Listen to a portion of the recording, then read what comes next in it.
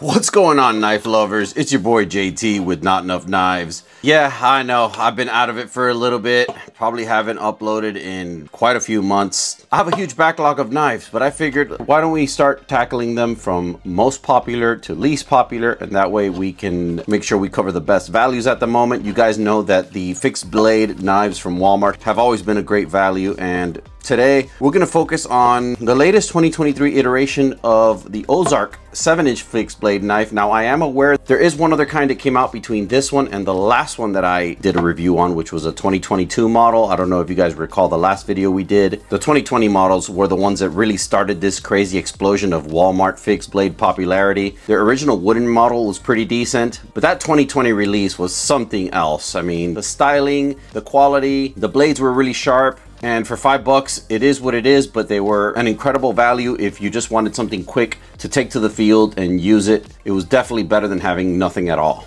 This popped up on the shelves, I think it was around August that I picked it up. That's how far behind on my content creation I am, busy with work life. But today we're just gonna bring it out of its cardboard and nylon confines and see what we get for, I believe this was $5. So the inflation crisis somehow has not gotten to all the knives. I know some have been affected, but Walmart somehow has managed to consistently keep their Ozark Trail variety of knives within the realm of affordability and away from this crazy inflation that has affected every everything across the board from housing to gear, clothing, everything. So without further ado, guys, let's get into this, see what we got.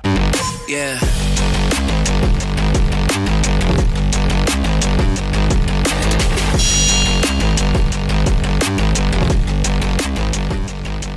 Alright guys, so you have your black oxide coated blade. I've seen this in a few offerings of their fixed blade knives. Seems to be just a standard black oxide over what may or may not be 4 or 5 CR 18 MOV. If it's anything above that, I'd be very surprised and consider this an even better value. But for now, we'll just take it that it's going to be a very soft steel, very sharpenable, but at the same time, very unreliable when it comes to strength requirements. However, you get what you pay for. I'm going to continue to mention that because and again, you guys know these things are $5. New Ozark Trail logo with the outdoor equipment. It is a full tang knife as indicated by the depicted continuation of one piece steel throughout the tang here. If these grip was molded together, then we would have to rely on looking through the lanyard hole to determine the full tang, but it is very evident so. Now the molded sheath is something they brought back. I really appreciate them continuing to do this. However, I did notice something new. That is the addition of not only a pivoting belt mount, but also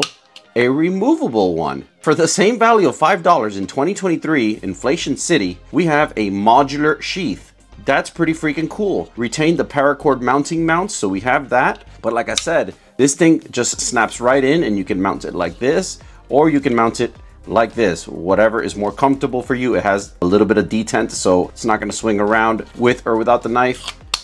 Knife is well balanced so i do appreciate that now, it's always a controversy point, but I do have to point out that I'm not a big fan of serrations on knives. I know that they're more useful than what we bitch about as consumers. At the end of the day, it's very unlikely that we're gonna be in a helicopter that is falling out of the sky, but if we have a choice between falling into the canopy or crash with the helicopter, we're gonna wanna cut that harness or seatbelt as fast as we can. And the one thing that just takes any brain power away from the cutting action is having serrations. I don't care what anybody says. We can hate on serrations all we want, but at the end of the day, they do have their use. They're great for emergencies and having a combination of both on your survival blade or your utility blade is some value that I just can't ignore. As a knife reviewer and as an outdoor person, I do appreciate the fact that they at least include both types if they're gonna make only one version of a blade. Now, if they made two versions of this blade and they wanted to make one plain and one fully serrated or one combo and one fully plain, then that's fine. But if they're only gonna bring out one and they wanna do combo, I guess that's okay. Back with the original wooden scale fixed blade knife and then the 2020 and the 2022 iterations, we got solid plain fixed blade knives. And then it wasn't until late 2022 that we had that one combo version that had both plain and serrated. They probably felt that their sales weren't that impacted from offering the combo blade, so they decided to do it again. The knife does have that very good snap in that I recalled highlighting out of the 2020 blades and a very more pronounced thumb press over here for separating the knife out of the sheath gives you a little bit more accessibility without impacting too much of the wieldability. Overall, I really like it. I mean, it's compact. It maintains that compactness that we loved about the 2020 series. Plastic handles are not wooden like the original 2018 model, but I mean, everything's plastic nowadays. Plastics are being used for a lot of applications and they're not terrible. They outlast wood in a lot of applications, especially for extreme outdoor scenarios where the knife is just rubbing on a lot of stuff. The wood tends to fray in those scenarios. Plastic just gets probably scratched, but it doesn't lose the material, which is something that I like. Cutting test with paper is as you would imagine, it's pretty decent. Sharpness has never been an issue with these knives. If anything, it's just holding the edge after some cutting. That would be the problem because these are very soft blades. Cardboard, no problem.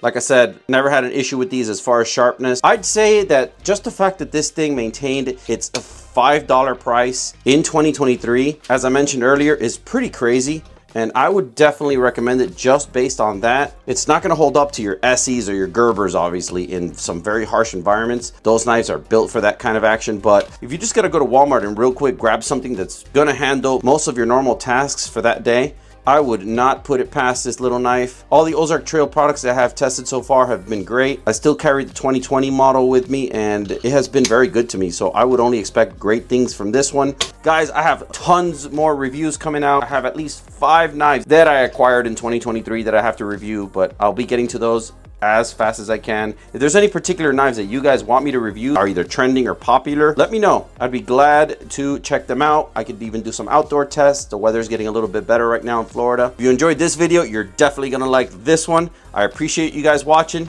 Take it easy, guys.